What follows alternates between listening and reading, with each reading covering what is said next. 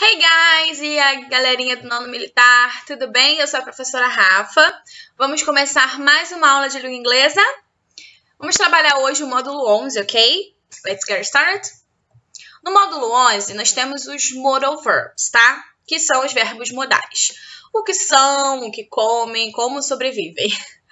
Gente, os verbos modais, eles são mais fáceis do que você imagina, tá?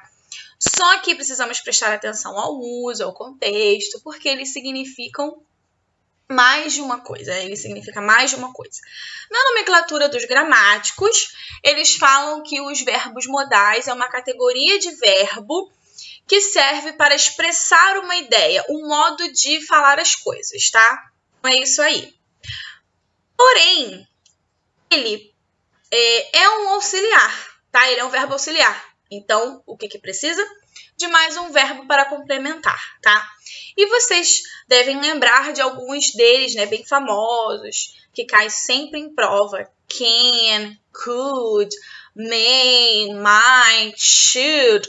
Yeah. Se eu falasse assim, I can. Ok, eu posso o quê? Faltando alguma coisa, né? I can swim. Eu posso nadar, ok? Então, pessoal, você vai usar o verbo modal e mais um verbinho para complementar, porque ele sozinho não tá dando ideia de nada, beleza? Então, I can swim. O can mais outro verbinho, tá? Isso serve para os outros também. E o verbinho, tá vendo que ele tá sem o to? Então, a gente não vai usar esse to do infinitivo, tá? A gente vai usar o verbo na forma base dele. Não to swim, mas só swim, ok? E como ele é um verbo auxiliar, é, ele mesmo, ele existe por si só, ele vai negar e ele vai ter, ele vai dar a interrogativa, ele vai fazer a pergunta, beleza? Vamos ver cada um deles e os seus usos. Então, ó, vamos começar pelo can. Ah, professora, eu sei o que é o can. Can eu posso traduzir como poder. Ok, você não está errado. Mas vamos prestar atenção aos usos, tá? No contexto das frases. Vamos lá. She can sing very well. She can sing very well. Então, ó, ela pode cantar muito bem, ela canta muito bem, ela tem a capacidade de cantar muito bem. Então, o uso do can, capacidade, habilidade de fazer alguma coisa, tá? Ela é boa nisso, então ela tem essa habilidade, ok? A gente também pode usar as locuções substitutas, que é o be able to or be capable of ok? Que são, ó, ser capaz de fazer alguma coisa, capaz de fazer uma outra coisa, beleza? Então, a gente também pode usar, ao invés do can, as locuções substitutas. Olha a outra frase aí. They can meet you tomorrow. They can meet you tomorrow. Então, eles, eles podem te encontrar amanhã. Eles podem te encontrar amanhã. Então, ó, eles podem te encontrar amanhã. Qual o sentido dessa frase? Possibilidade. Então, eles podem te encontrar ou pode acontecer uma coisa e eles não vão poder te encontrar. Então, ó, possibilidade. Você não tem certeza se aquilo vai acontecer. Mais um uso do can, ok? O can tem mais usos, professoras? Professora. Yeah, tem. Can I be honest? Can I be honest? You can't smoke in this room. Eu posso ser honesta, eu posso ser sincero com você? Você está pedindo o que para a pessoa? A permissão de você ser honesto com ela. Então aqui eu estou conversando com alguém ou com um amigo, e aí esse amigo acende um cigarro, só que naquele lugar você, ele não pode fumar, né? É proibido. E aí você fala assim: eu posso ser sincero com você, eu posso ser honesto? Ó, você não pode fumar aqui, né? Você não pode fumar aqui nesse local. Então, o can serve também para permission, tá? Para você pedir permissão, ok? Mais um uso, ó.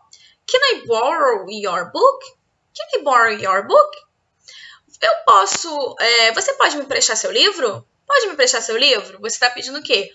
Um pedido, está fazendo um pedido, né? Você pode me emprestar o seu livro? Ok? Mais um uso do can. Aí, pessoal, nós temos a negativa dele. Ah, professora, é só negar. Não é bem assim, né? Prestem atenção. A gente pode usar o can't ou cannot. cannot, ok? Tudo junto aí. Por quê? É a junção do can mais o not, tá? E aí, junta tudo, fica cannot. Beleza? Olha aí, essa frase aí. I can't sing. I cannot sing. Então, ó, eu não posso cantar. Eu não tenho essa habilidade de cantar. Eu tenho a incapacidade de cantar. It's true, é verdade. Eu não sei cantar. Né? Eu tenho o quê? Falta de habilidade de cantar. Beleza? Então a gente vai usar o can't para isso também. E aí a locução substituta. Lack of ability. Ok? Que é falta de habilidade. Beleza? Sem habilidade.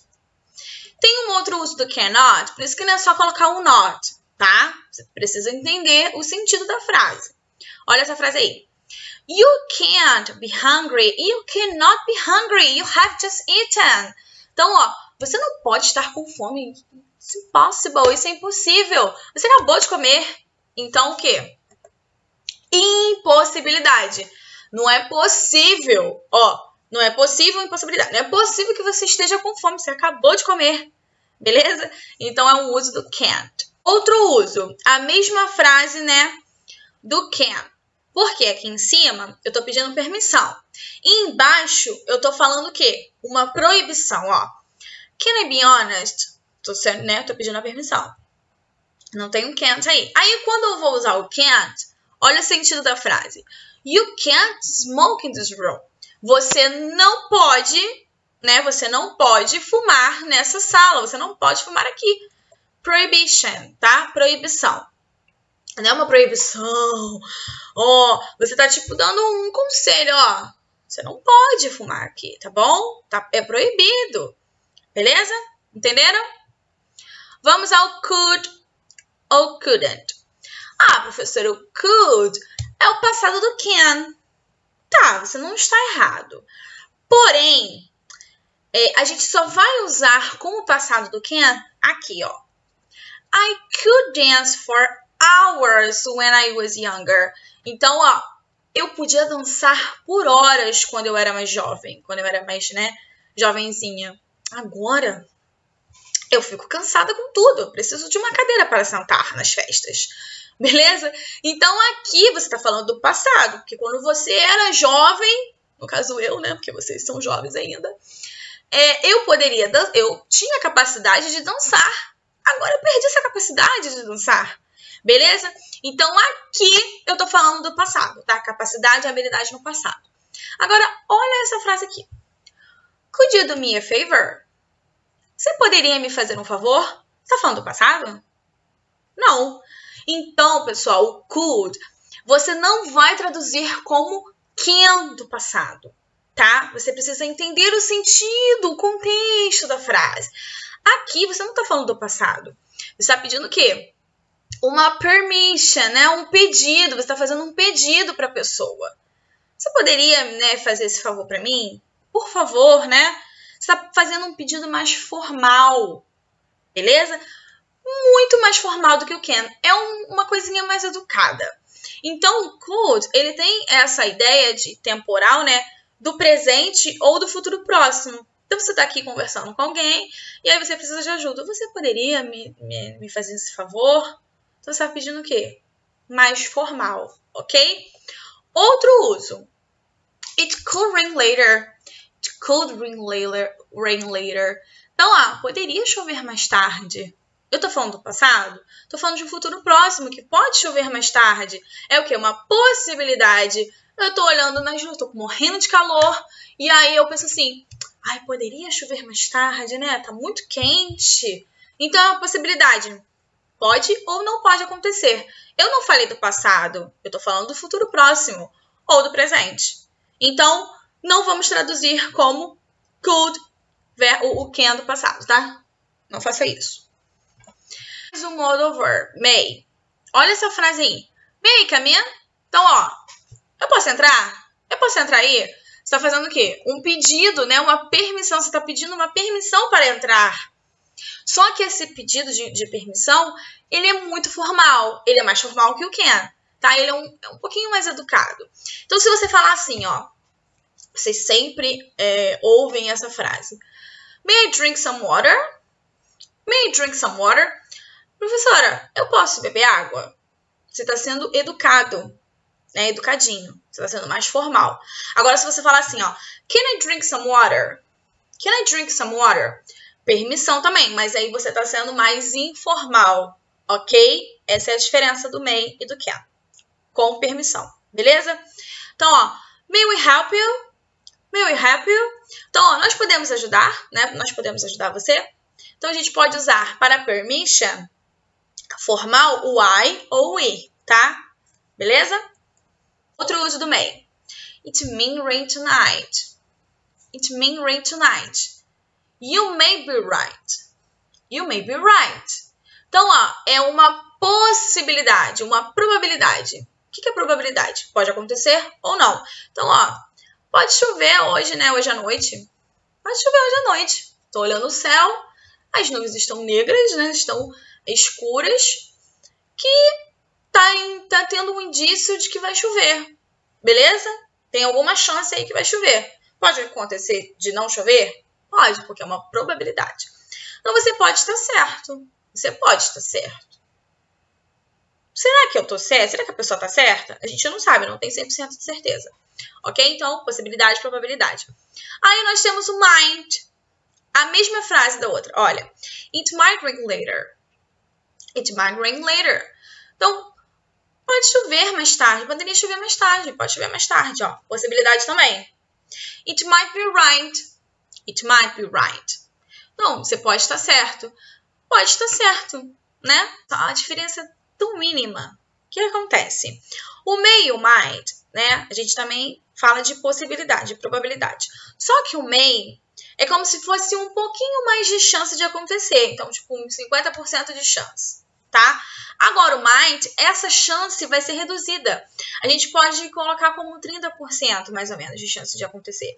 Então, essa é a pequena diferença, tá? Uma pequena diferença aí, beleza? Nós temos o should, shouldn't na negativa. Olha essa frase aí. You shouldn't eat junk food. Você não deveria comer besteiras, né? Comidas não saudáveis. Comidas que vão te fazer mal. Beleza? Eu tô dando o quê? Um conselho, né? Should I go there? Should I go there? Eu deveria ir lá? Será que eu deveria ir lá? Eu tô fazendo o quê? Eu tô dando um conselho, uma boa ideia para a pessoa, né? Uma, um conselho positivo. Não tô obrigando aquela pessoa, ó, você não deveria comer besteiras. Não, tô dando conselho, ó. Você não deveria comer besteiras porque você vai passar mal, porque você vai ficar doente. Beleza? É uma coisa mais amenizada, é um conselho mais amenizado.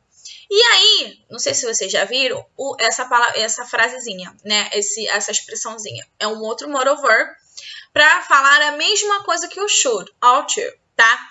You ought to eat fruits. You ought to eat fruits você deveria comer frutas. Tá qual a diferença, professora? Nenhuma. Eles são eles têm o mesmo sentido, eles são iguais, tá? No contexto. Tá, mas quando que eu vou usar um ou outro? Então, na linguagem oral, ninguém mais fala ought to. O pessoal só fala should, tá? Mas vocês podem ver em, em prova e confundir. Ah, não sei o que é isso. Então, aí agora você sabe que o ought to tem o mesmo significado que o should. Beleza? No sentido de amenizar aquele conselho, né? Você ser educado com a pessoa, ó, você não pode fazer isso porque vai te trazer aquilo, beleza? Uma coisa mais tranquila. O must e o mustn't já é diferente do should. Olha só essa frase aí. You must stay at home.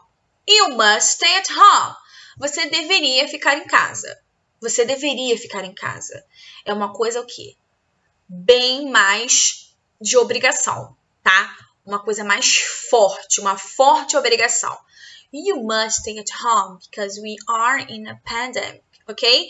Então você deveria é, ficar em casa porque estamos numa pandemia. Então é uma forte obrigação, beleza? Diferente do should, que é um conselho, uma boa ideia, ok? You mustn't see this movie. You mustn't see this movie. Por quê? Porque é uma proibição, você não pode ver esse filme porque você não tem idade para ver esse filme ou porque o filme é muito violento e você não pode ver. Ok? Prohibition. Beleza? She must like children very much. She must like children very much. Então, o must, ele não serve só para ter uma forte obrigação, uma proibição. Ele serve também para você deduzir, você acredita que é verdade aquilo ali. Por exemplo, essa frase aí. Ah, ela, ela é carinhosa, então ela deve gostar muito de crianças. Então você está deduzindo aquilo ali. Então, must serve para isso também, ok? Último, nós temos o had better, que é uma expressãozinha que também é para dar conselhos. Só que a tradução a gente pode traduzir como é melhor, é melhor você fazer isso, senão vai trazer isso como consequência.